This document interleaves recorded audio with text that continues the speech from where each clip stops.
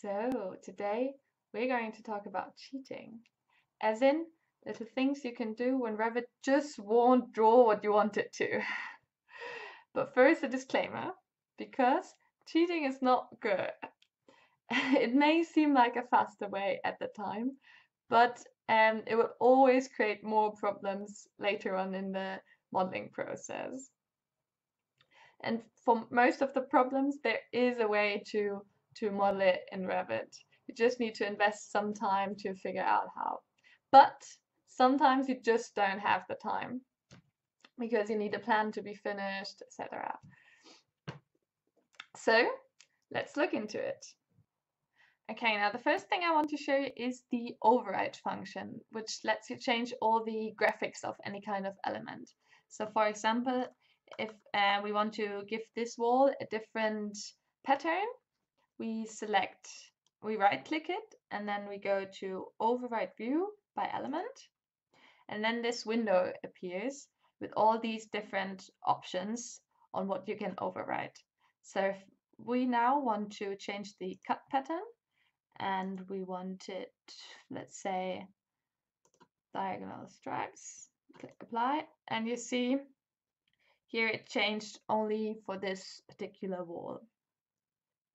Also, maybe you want to change the color. So there you go.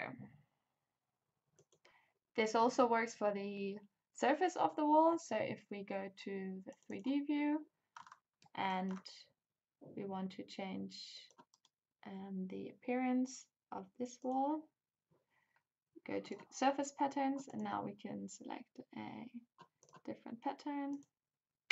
There you go. And now the next thing we're going to do is to cheat with the dimensions. So we go back to the floor plan. And now there's two ways to do this. The first way would be to click on the dimension and then on the number that you want to change and switch from use actual value to replace with text. But you will see that Revit won't let you do this. So you need to cheat like with adding a space so that Revit thinks that it's text or you can add um, like a second period at the end or something. It's not that pretty. So the second way would be to create a text with the value that you wanted to have and then place it over your dimension. But you need it to be the same font as your dimension. So this is 3 millimeter Arial.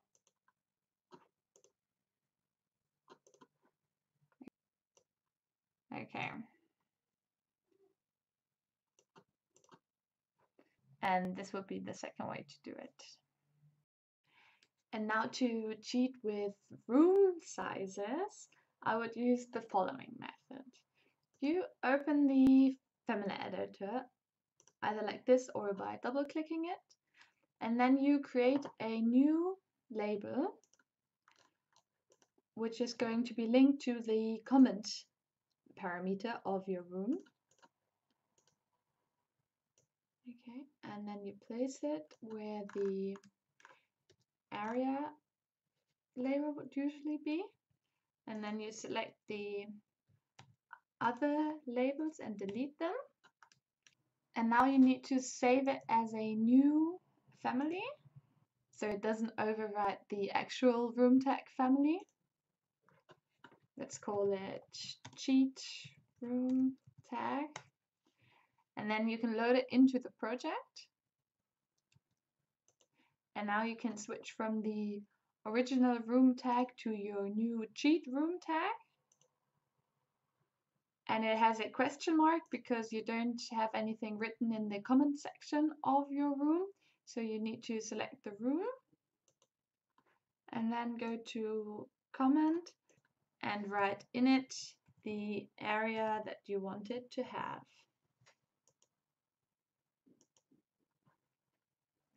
And now we come to the last trick that I want to show you today.